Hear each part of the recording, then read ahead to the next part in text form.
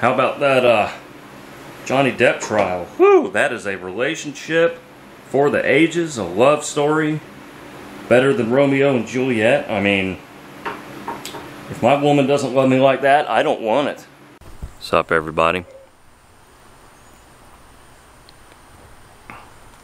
Welcome back to the world's worst fishing. We are grilling steak tonight, and we are also going to be putting on uh, some big mushroom stuff, uh, like mushrooms stuff with crab cakes. So we're getting fancy over here tonight. So I've got a huge, like 20 ounce porterhouse steak, and uh, it's time to light the grill. Oh yeah, it's alive. It's alive, it's alive. I was supposed to go catfishing with Happy Jack tonight, but uh, he wussed out. Something about having to fix his trucks. He drives like three different Ford trucks, and uh, because they're Fords, they pretty much are in a constant state of uh, disrepair. Yeah, less than 400 degrees. Oh yeah, Looking right. Yeah. First of many flips here. I'm sure some of you uh, real steak gurus are gonna tell me in the comments how I'm doing it wrong. Ah, I welcome such comments. Check this out, y'all. Going live on Instagram with Livewire Plastics. Smile, you're on camera. You're on camera. Smile. There he is. That is Drew Barf with Livewire Plastics. Give him a follow. He's a pouring machine. Nah, dude, I'm out here uh, grilling some steak. So, yeah. this will be the start of my next video is me showing the world how um, just just how ghetto my steak grilling is. Yeah, there it is. We won't talk about the crab cakes, but steak turned out probably pretty bomb.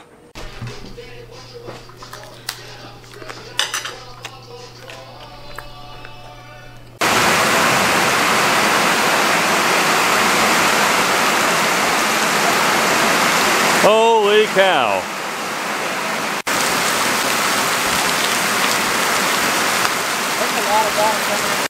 So you might have seen that quick little clip of us getting poured on Happy Jack and I wound up going fishing after steak night uh, the, the next day. Um, and I caught a beautiful long ear sunfish. And this is sort of a color match based on that sunfish. Some nice layering there, lots of oranges. It's actually dark orange on the top and a beautiful Jetson green sunfish eye. Isn't that cool?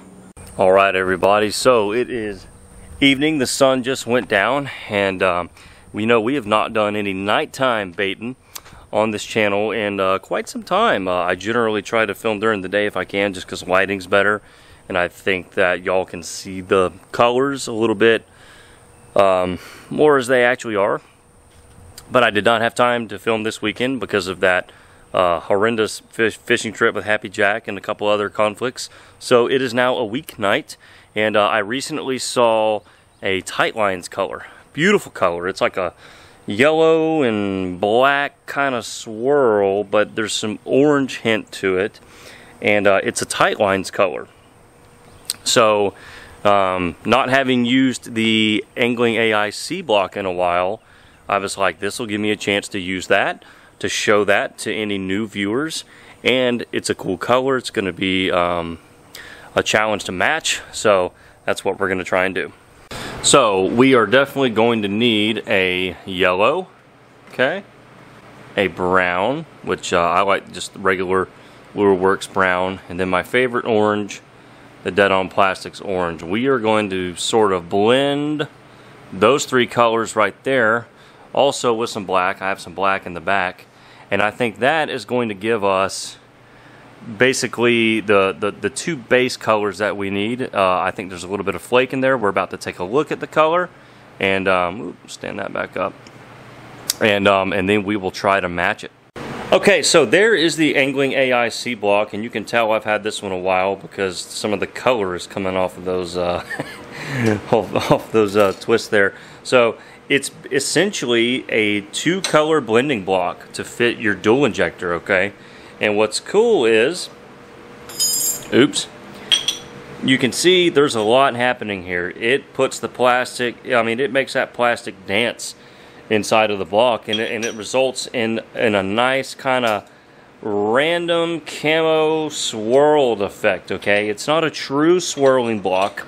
To get a true spiral swirl like you see in a candy cane, you have to milk the cow, which we do have some videos on that. However, the C block gives you some of the coolest random kind of splotchy, swirly patterns uh, ever when used correctly. And what I mean by used correctly is used in a mold that has the correct configuration, okay? And also an asymmetrical mold. So you need a mold that is oriented where the cavities go to one side. To, to me, this gives you the best effect, where the plastic enters the runner and can only go one way. A lot of molds are actually set up like this, okay? It's where you have a runner that then splits the mold in half and the plastic goes left and right. You really need a mold that's configured like this and the more asymmetrical or more random and more appendages that a mold has, the sweeter the swirl. Okay, we'll just kind of start with the black side first. And it almost looks like a, a gray charcoal, but it's hard to tell. That could just be from the fact that it is swirled with those other colors. It's definitely not like a super saturated jet black. Um, yeah. so that's going to be, the hard part is going to be getting the black saturated enough, but not too saturated to where you can't see that flake. So we're just going to kind of keep, keep cracking at it here and uh, I'm going to show you the whole color building process. A lot of times I kind of crop a little bit out here and there just to save time on the video, but a lot of you have um, commented that y'all like to see me try to do the whole thing. So you're going to see it drop for drop, stir for stir, until I just think I have it right. So yeah, so far that's looking pretty good. You can see the earliest version of it was real see-through. But we are slowly, slowly building up some nice uh, saturation here. And um, of course we don't want, you know, there again, once it's swirled with the yellow and orange, it'll actually lighten it up and uh, make things a little bit more visible. So now let's uh, let's dive into the hard part. This is definitely going to be the most difficult side here. So we're just to go ahead, go ahead and get, get lots of yellow in there, a little bit of orange. The dead on orange is very concentrated. So you just kind of have to plan for that. Yeah, you can see that's almost sort of like a tangerine peach color. And uh, the brown will kind of help change that a little bit. So we'll put some brown in there and we may actually have to add a little bit of white. There's all sorts of things you can do to, uh, to, to try to get it looking right. So if we just kind of pull up here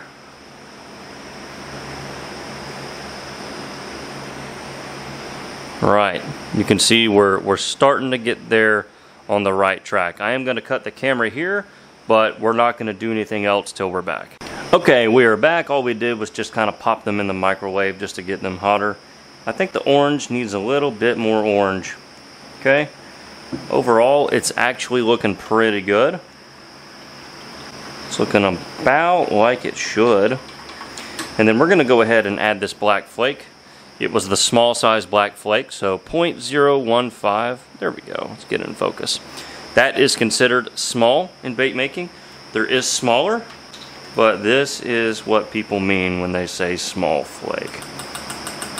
And you don't normally add it to black uh, plastic. Black flake and black plastic Um, not something I've done a lot of. So, you know, because, you know, the, the thought is, oh, it won't really show up. But when swirled with a lighter color, you're going to get that bleed over where you will then start to see that flake. So what we're going to do is something that I like to call the drizzle test. Not the hand pour drizzle method, of course. Um, but we're going to drizzle out some color from each one and just kind of see how they react. See how they play to see if we are on the right track. Because this color is going to be kind of randomly mixed together, okay?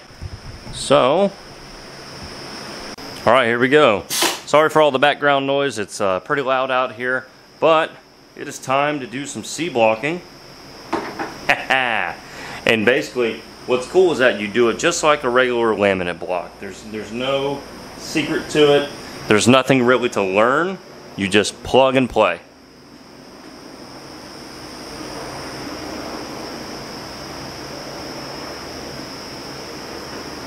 Here we go. That's the ecto craw right there. Alright. Now we'll move over to the stingers. Alright, let's look at the actual C block here. I think the color's good. I think I may have to up the saturation. Just kind of looking at the sprues here. Um, the baits may be a little bit too see-through, which kind of affects the way that the color swirls. But there you can see kind of what the block does and how it takes the two streams of plastic and really makes them dance. Right, open them up. Let's go ahead and look at the look at the crawl first. Since oh, you know what? Drum roll. Drum roll, please.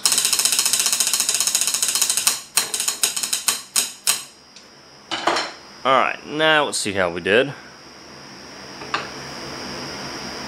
Ooh, pretty. Pretty, pretty, pretty. So you can see right right away. Look at the difference in color. Really orange in the cup, looks almost completely yellow in the mold. So the way that the black plays on the color, you can see we have, right, sort of a more yellowy, yellow and black swirl, okay? That's pretty. Look at how it just lays the color in there. Yeah. Oops. Trying to lay them out, uh, lay them out like that. Pretty, pretty. Gorgeous, but not quite the match.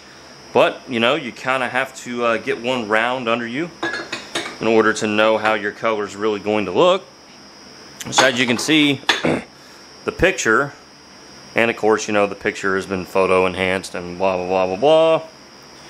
If we can find it again, yeah. You can see just a lot more orange. Ours is definitely way toned down. So we'll open up, we'll just show you what, what one of these stingers looks like. And then we'll have to add some more. Good lord, maybe I won't. We'll have to add some more orange to it. There we go. Definitely going to have to orange things up. Yeah, quite a bit. So there's what we have. But yeah, look how cool the C block does things. So what we're to do is we're to up the orange and we're to up the saturation. Okay, here we go. Time to orange it up. Three, four, five, six. Ooh, seven drops is a lot of dead on orange. But you can see how it looked earlier, right? You really, really, really gotta orange it up. Big time gotta orange it up. Okay, here we go. Lock and load. Awesome, awesome. Here comes round two. A more orange round two.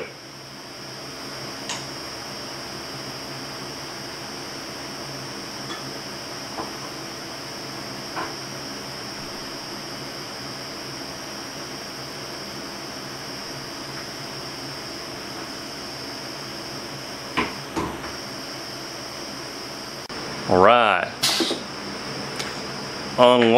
And you know what? Let's open a stinger first. Feeling, feeling pretty good about this round. So let's see what happened. Oh yeah. That's looking more like it. What do y'all think?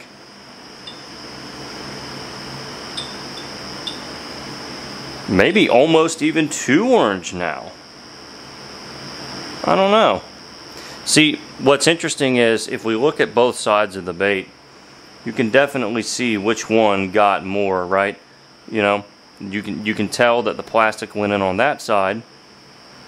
Uh, excuse me, that the orange plastic went in on that side, right? So there's more orange on that side. And then, of course, you can actually angle the C block, right? I've been doing it kind of perpendicular. You can do it inline. You can do it kind of at an angle. You can do it whichever way you think is going to get you the, the pattern that you want. look at the difference here, right? here was the first run on the left. You can see a lot more yellow. Still has some orange in it, but largely yellow. Um, the black just completely overtook it and changed it yellow. Over here we have almost like Halloween theme, right? Jack-o'-lantern, black and orange.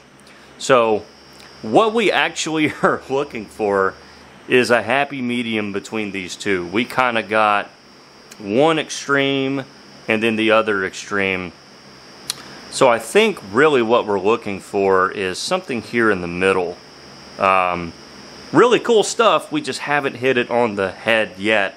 And I'm kind of running out of time tonight, so I may pick this back up after work tomorrow and kind of start fresh, use a little bit less orange, um, and see if we can really dial it in. Okay, it is the next day and you can tell that we have more light in the shop. A little glass of red wine there. I normally drink beer on this channel, but we're keeping it classy today. So here are last night's examples. And uh, wow, you can see just how strong that dead on orange is. So what we're gonna do is uh, we have more plastic in the microwave and we're gonna try to do this again and try to hit a happy medium between the two.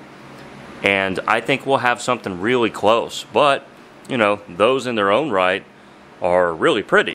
And we're back. So here's what we have so far, and this is where we left off last night. You can see how much, oops, how much more orange that is than what we currently have. So I want to be careful not to add too much orange, but I know how quickly that black can sort of overpower it um, and make it not look orange enough in the final result. So I'm thinking um, something like this. Yeah, scoop the camera back and zoom in. I'm Thinking something like that might actually work kind of well. Let's kind of do a little drizzly drizzly. Really kind of mix them in. Try to get the uh, try to get a lot of black mixed in with the orange there. Oh, sorry, that's not on camera. Yeah, again, there's what we have. All right, here we go. Second day, round one.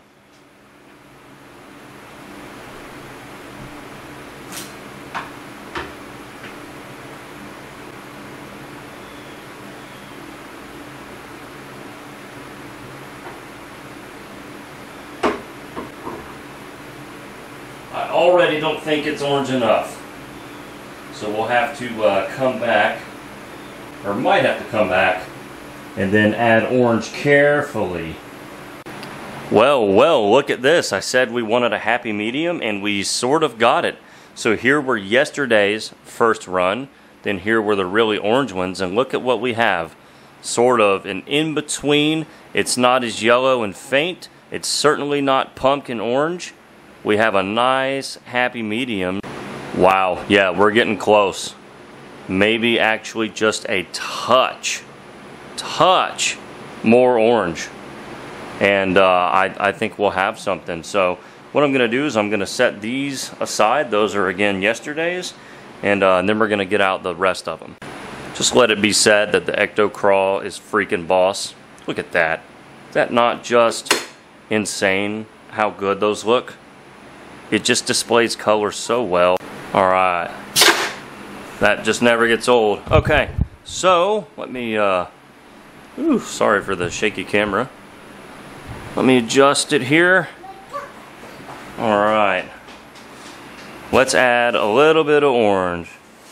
There's four drops. Let's see kind of where that gets us. Four, four drops there. Landon's playing in the driveway while Julie's out here watching him, so he's having fun.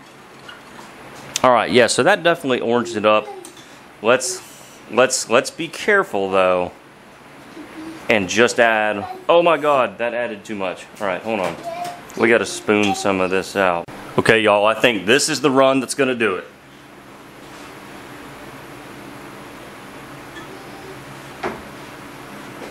Let's hope so. All right, feeling good. All right, I think this one is it. So a new drum roll. Here we go. I think this is as close as we can get. Hopefully. Hopefully I'm still, yes. Yeah, that right there. That right there might have it, y'all. It's definitely more orange, but then on the parts that got a little bit more black mixed in, you can see it really kind of mellows out the orange. So, for example, just look at look at those extremities and then look right there.